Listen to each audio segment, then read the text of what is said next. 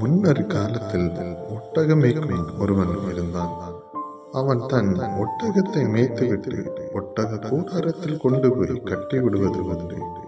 அவன் வாழ்க்கையில் தனக்கு இருக்கும் பிரச்சனை பற்றிய கவலையில் ஆழ்ந்திருந்தான். நமக்கு மட்டும் ஏன் இப்படி நடக்கிறது? வாழ்க்கையில் துன்பம் இல்லாமல் இன்பம் மட்டுமே இருந்தால் எப்படி இருக்கும்? என்றெல்லாம் யோசித்தவாறு. சாலையோரத்தில் நடந்து கொண்டிருந்தான். அப்பொழுது அங்கு ஒரு முனிவரை கண்டான்.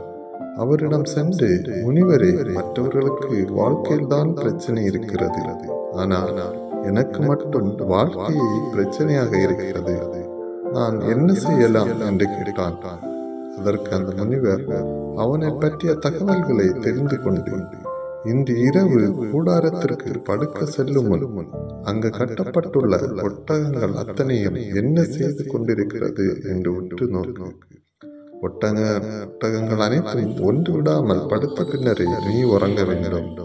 அதுவரை விழித்து கொண்டு என்று கூறி வழி அனுப்பி வைத்தார். இரவு கூடாரத்திற்கு சென்ற மேய்ப்பன் ஒட்டகங்களை விட்டு நோக்கி கொண்டிருந்தான்.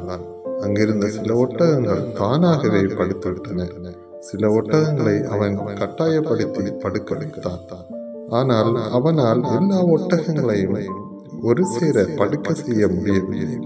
ஒரு ஒட்டகத்தை படுக்க வைப்பதற்குள் இன்னொரு ஒட்டகம் எழுந்து நின்று கொண்டிருந்தது. கடைசி வரை அவனால் ஒரு சேர ஒட்டகத்தை படுக்க வைக்க முடியவில்லை. அதனால் அவன் தூங்கவும் இல்லை. மறுநாள் காலையில் முனிவரை சந்தித்த மெய்ப்பன் நடந்த விவரத்தை கூறினார் முனிவர் சிரித்து கொண்டே அதற்கு இவ்வாறு பதிலளித்தார். உன்னுடைய பிரச்சனையும் ஒட்டகத்தை படுக்க வைப்பதற்கு சமமானதுதான். வாழ்க்கையில் சில பிரச்சனைகள் தானாகவே முடிந்துவிடும். சிலவற்றை நாமே போராடி முடித்து வைக்க வேண்டும். அப்படி நாம் செய்தாலும் வேறொரு பிரச்சனை புதிதாக எழுந்து நிற்கதான் செய்யும். இவற்றை எல்லாம் சிந்தித்துக் கொண்டிருந்தால் கடைசி வரை தூக்கம் என்பது இல்லாமல் போய்விடும். பிரச்சனைகளை பற்றிய சிந்தனைகளை முதலில் தூக்கி எறியும். வருவது வரட்டும் என்று தைரியமாக உன் வேலையை மட்டும் தொடர்ந்து பார்த்து கொண்டிருக்கிறேன் பிரச்சனைகளை பற்றிய சிந்தனை இல்லாமல் இருந்தாலே துன்பமில்லாத இன்பமான வாழ்க்கை நிச்சயமாக வாழ முடியும். யாருக்கு தான் பிரச்சனை இல்லை. இல்லை பிரச்சனைகளை எதிர்கொண்டு வெற்றி நடை போடுவதற்கு பெயர் தான் வாழ்க்கை.